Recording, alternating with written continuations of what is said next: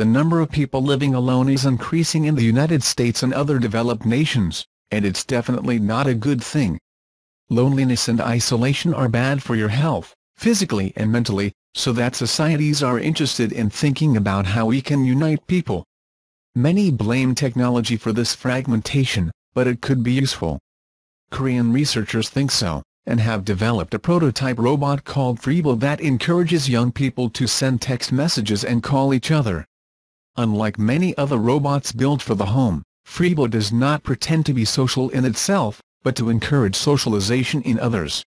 The Fribos are meant to be distributed in a group of friends' houses, creating what researchers call a virtual living space that brings together people who are physically isolated. Fribo does this by listening to the activity in people's homes and encouraging users to talk through chat applications. The microphones and sensors recognize domestic activities, such as when someone comes home, turns on a light, sucks in or opens a fridge. This information is shared anonymously with the rest of the group.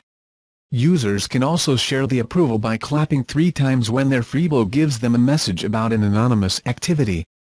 So, if you have been notified that a friend has just arrived home late, you can send them a welcome back message by simply applauding.